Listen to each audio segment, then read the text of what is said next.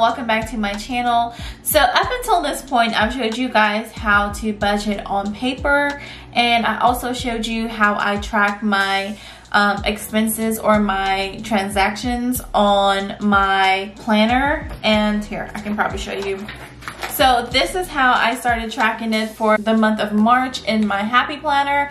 I just go to each day and I write down everything that I've spent but honestly doing this every single day um, gets kind of hard for me to do so what I like to use is Dave Ramsey's EveryDollar budget app. I absolutely love this app. I think I've been using it for about two years now. And what I like about the app is that as soon as I make a purchase, I can go ahead and put it in my phone, in my app right then and there, instead of having to keep my receipts, come home and transfer it onto my planner.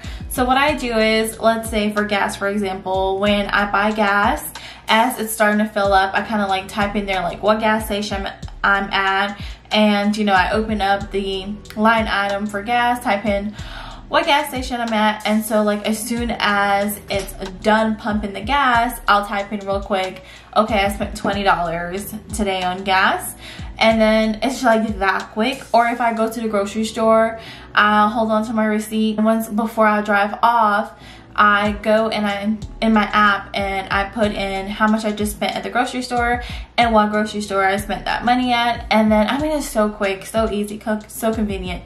Now EveryDollar does have a paid for version. It's about $10 a month and when you're trying to get your finances together and you're trying to get out of debt, no one wants to pay $10 a month for an app. So with the $10 version of it, it does um, keep track of your money once you swipe your debit or credit card. But I just didn't want to do that because one, it doesn't put it in the correct category every single time. So you still have to kind of go in there and figure out which category you need to put things into. And then two, for me, I love looking at my budget every single day on my app. So, you know, I kind of keep track of like what I'm spending if I'm using the app every single day. So I use their free version and it works great. And like I said, it just kind of helps me keep a mental note of how much money I am spending. And every couple of days or so, I'll pull out my happy planner and I will jot down my transactions in there because I do like looking at it in my EveryDollar I'm sorry, in my happy planner as well because it's kind of like a bigger picture for me and I can see like what days I spent money on and what days I didn't spend money on. So I kind of like both. But today I wanted to show you guys how to use the EveryDollar app. So I'm to kind of like take you through it on my phone. Okay, so this is for the month of March. I had it filled in before, but I went ahead and deleted everything so that I can kind of walk through everything with you guys. So I want to just point out a couple things here. So at the very top, it says March 2020, and that is the month that we are budgeting for. So that's the month that we're in. You can actually use the drop down and it'll go to other months, but we're just worried about March for right now. So I'm gonna click on that again.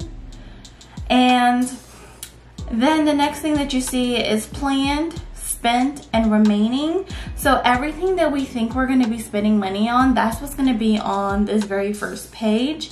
And then as you start spending money, you'll kind of see it go on this second page. And then on the third page, how much money you have left over in each line item. So for example, if we plan like a $100 for grocery in this, um, in this particular category, then we'll have a $100 there. That's what's planned.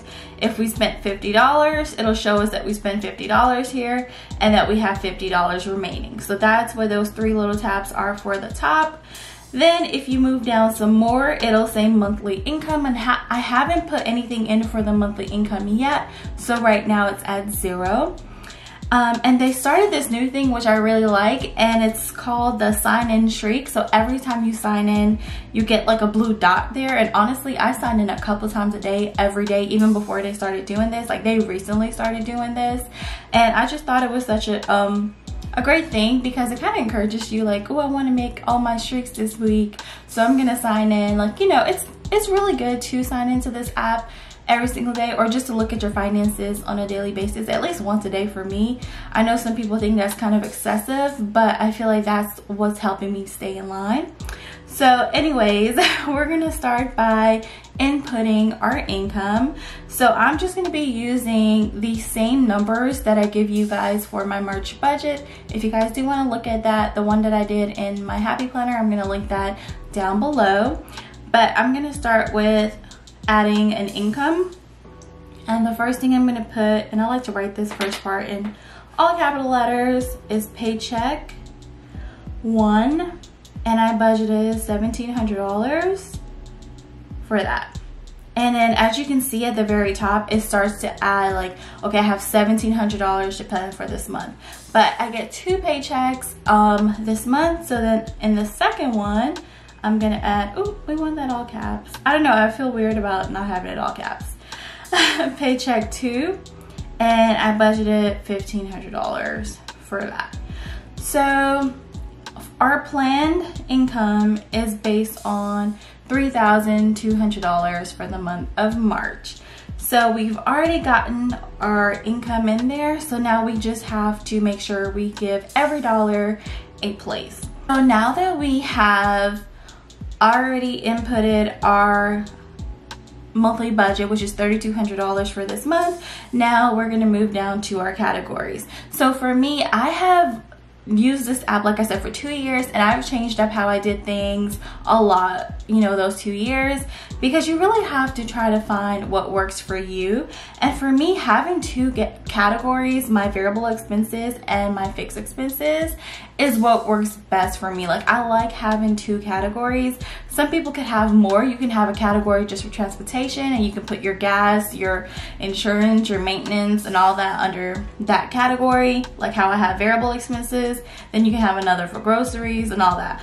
But for me, I find that having two main categories works fine. And like I said, our badges, it doesn't have to look the same.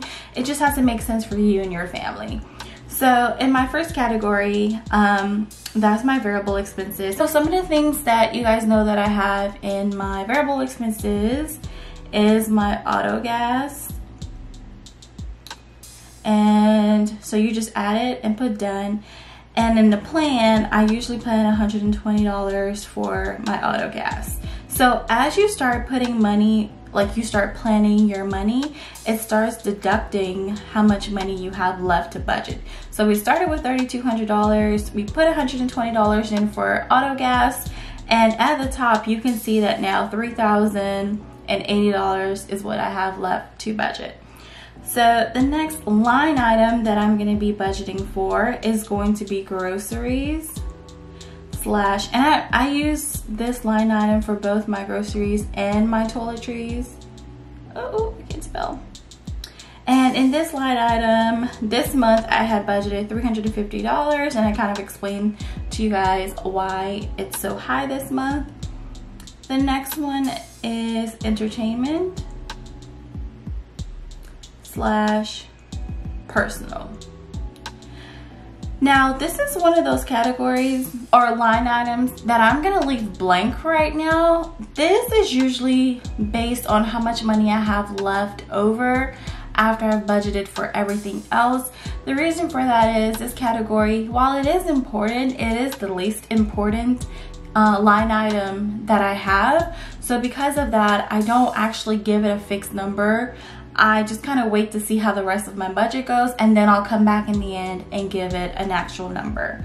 So we're gonna just kind of leave that at zero for right now. So the next thing that I had um, planned this month was my doctor's appointments and I budgeted $300 for that. Good.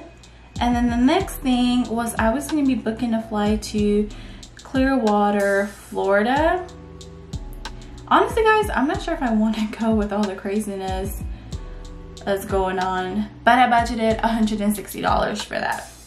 And then the last thing in this category but a very important thing is my miscellaneous uh, category. And for that i budget usually about hundred dollars.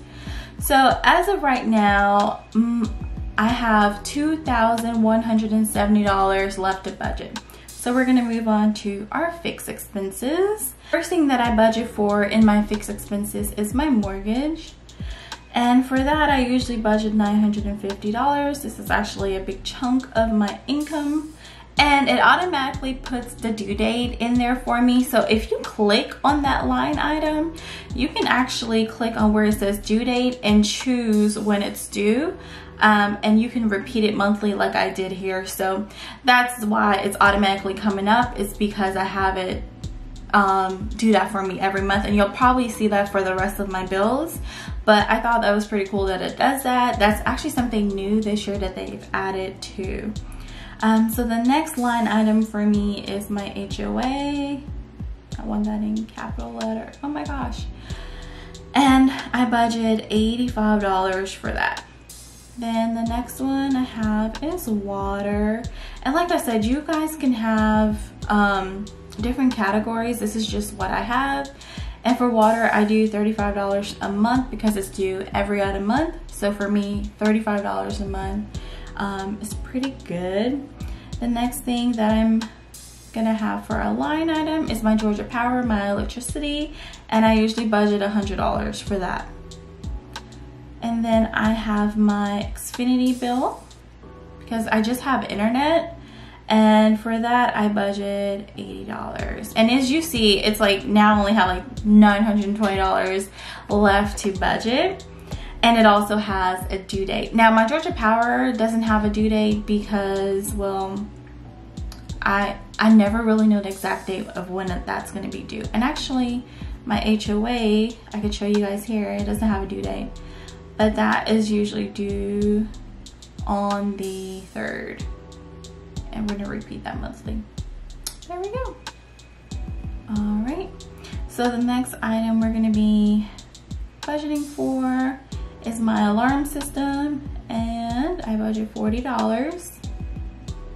And then I have my Netflix, a little splurge, and that's $15.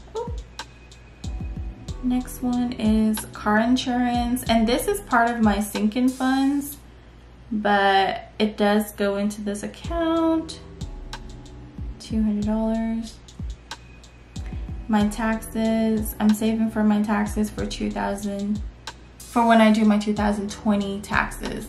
And for that i put 200 dollars. Okay. The next one is given and for that 50 dollars and that's just to a charity that i like to give to and then i have my mom's gas and that's 89 dollars Oh, I'm telling you, why do I keep messing up? And then mom's Comcast. And that's $50.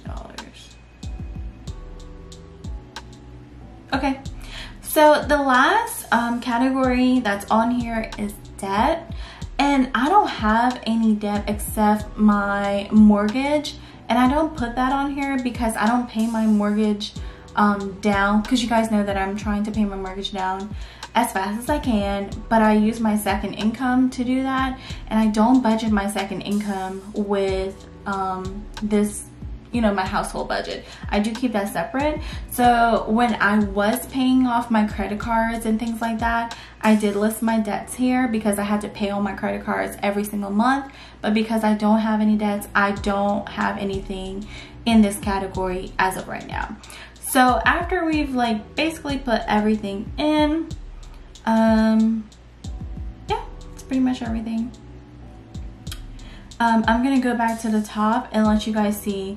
So we started off with $3,200. I now have $276 uh, to play around with because I pretty much used every other dollar and gave it a home. So I'm gonna go back to where it says entertainment and personal and that's how much I'm gonna give myself in this category. Now, if you guys can put money towards your savings, I already have an emergency fund saved up for, and any extra money that I make outside of my Monday through Friday job, I throw towards my mortgage. So that's why you don't see me taking out anything for savings here or anything for my mortgage payoff here because this is strictly just my household income. Everything else is um, coming out my side income. I want to show you guys how I actually track my transactions on this app. So let's just go to AutoGas. So I'm going to touch the line item that says AutoGas and then at the bottom right there's like an orange circle with a plus sign in the center of it. You're going to click on that and where it says amount, you're gonna put how much you spent. Um, so let's say I'm at the gas pump right now, I'm spending $25. I'm gonna put that in the amount. And then it has the date at the top. Now, if you're doing it the day of, then the date will be correct. But if you're doing it like a day later, you're inputting this a day later, you can just touch that and it'll, you know, give you an option to change the date. But we're gonna keep it as is. And then so once you put in the amount, you're gonna put where you bought the gas from, and I like to put like Shell. That's where I get my gas from sometimes. Also, um, put little notes right here, like if you spent $25 at the gas station, but some of it was on food, and then some of it, oh no. If some of it was on food, and then some of it was on gas, just to kind of give yourself a reminder why you spent so much, you can kind of save that right there, but I'm just gonna go ahead and delete that and then you're going to save. All right.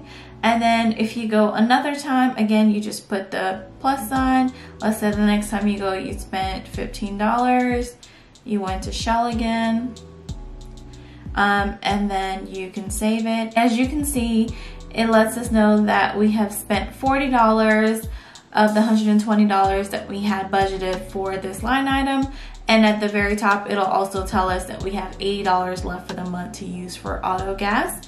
The same goes for grocery, entertainment, and everything else that you have as a line item. Then down here, when I'm putting in my uh, mortgage, I'll just put, it's usually like $944 and some change. And I'll just kind of keep that as mortgage. And I'll save it. And so that lets me know that I budgeted $950 for my mortgage, but I have $6 left. And so you can kind of play around with the app that way, but that's how I track my transactions. Now, as far as my paychecks go, so yeah, I budgeted $1,700, but if you click on that, paycheck one, you can actually put in how much you got paid. Let's say we got 1700 well, $1,716.32. Then you can put that in there and save. And then now it'll let you know what you planned and what you actually received. So I kind of like that. And yeah, so that's pretty much everything. I absolutely love this app. I love tracking my expenses on here. It really does help me stay um, on track for my budget. So that's all that I have for you guys today. I really do hope that you've enjoyed this video because I enjoyed filming it for you guys. If you did like it, please give this video a thumbs up and don't forget to subscribe. And I will see you guys all in the next video. Take care. Bye guys.